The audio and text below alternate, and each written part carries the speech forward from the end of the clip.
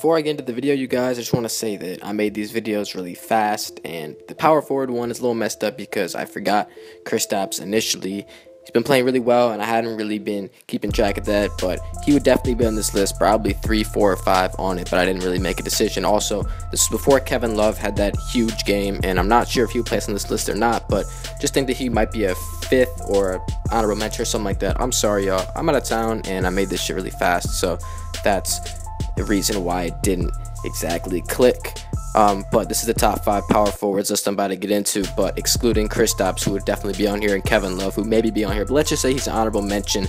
Remember, it's as of November 23rd. Made this list on November 23rd, and then hopefully we can get this over with with centers tomorrow and uh, get back to the normal videos. Enjoy the video, y'all. Peace. What's going on, y'all? Welcome back to Kid Taj. We're going to do a top five power forwards so far this season video. We did point guard, shooting guards, and small forwards so far. Center's coming tomorrow, and it's really just all because, you know, I'm on vacation right now. This video is as of November 23rd. Just remember that, keep that in mind during the video, just because this is not up to date. Up to date a couple days ago when I made this, but I'm out of town, as I already said in past videos. Please leave a like if you enjoyed this video, by the way. Comment any idea down below if you have one. Subscribe if you're new. And also, I just want to say that uh, the gaming channel, links in the description.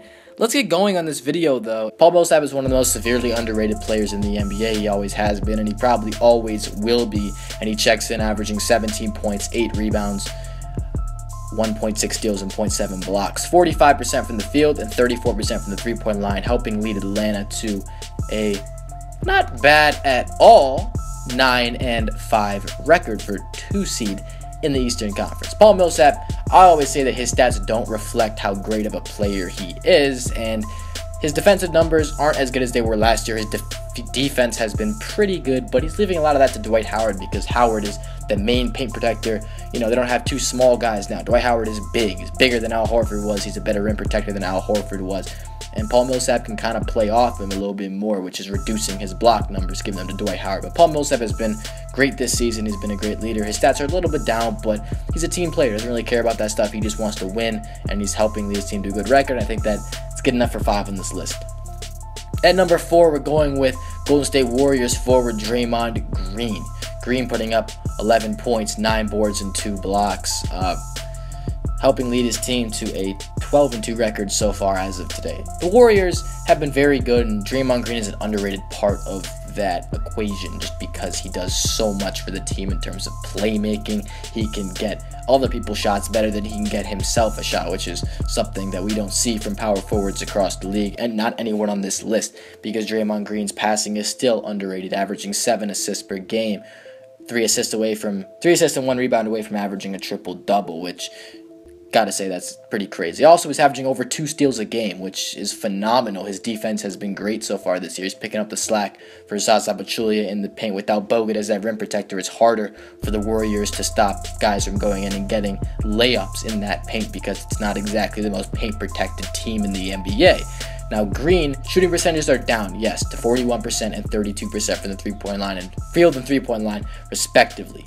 But what you got to think about is just why he would be higher on this list in a different year, but you know, the shooting percentages are down. Defense has been better, and he's gunning for that Defensive Player of the Year award, which is definitely realistic if the Golden State Warriors can finish with a top 10, top 5 defense because he's getting it done on the defensive end so far.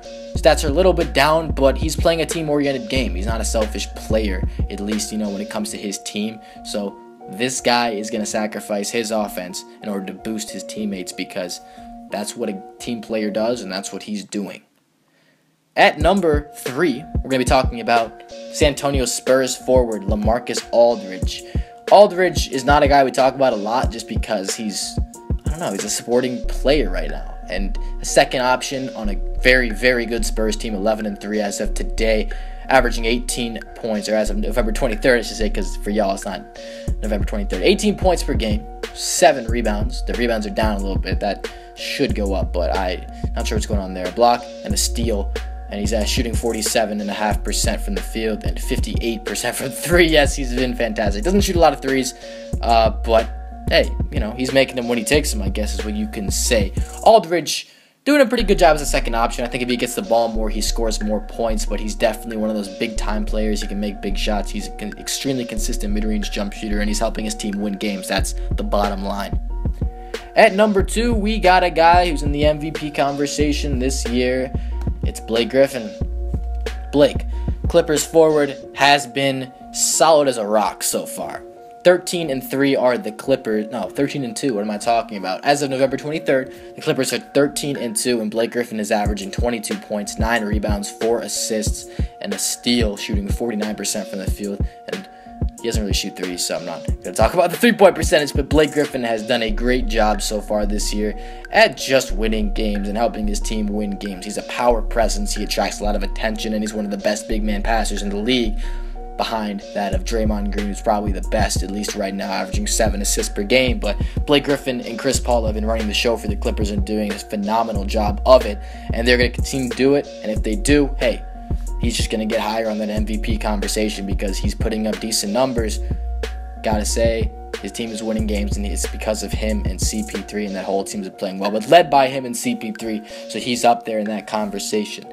Now we're going up to number one and it is not on a very good team, at least not record wise. They've been great as of late. The New Orleans Pelicans have. They've won a couple in a row now, and Anthony Davis has been the best player on that team all season long. He's been the best power forward all season long. Away all from putting up insane numbers, being a beast on both ends of the floor.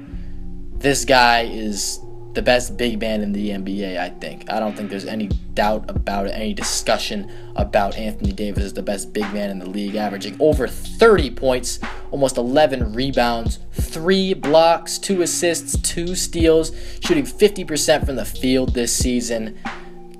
This guy has been phenomenal. Offense, defense, he does it all. His team's been winning games recently, but his stats are too good to ignore. I could not possibly put another player over him, even if this team had only won one or two games. This is still the best big man in the NBA. This guy's stats are absolutely insane. I'll say it again 30 points, 11 rebounds, 3 blocks, 2 assists, 2 steals. That's just not something you see from big men in the NBA, but it's happening with Anthony Davis. He's been absolutely incredible, and the Pelicans are now winning games. They look really good with Jrue Holiday back, and he only helps Anthony Davis be a better player, and he's doing it all efficiently. 2.4 turnovers, and he's shooting over 50% from the field, shooting 21 plus shots per game. Hey, that's absolutely incredible, and along with all the amazing stats this guy puts up, gotta say, Anthony Davis has been the man so far and the best power forward this season. That's going to do it all for this video. I hope you all enjoyed it. If you did, please leave a like, subscribe if you're new, comment a day down below, and I'm out. Thanks for watching, y'all. Peace.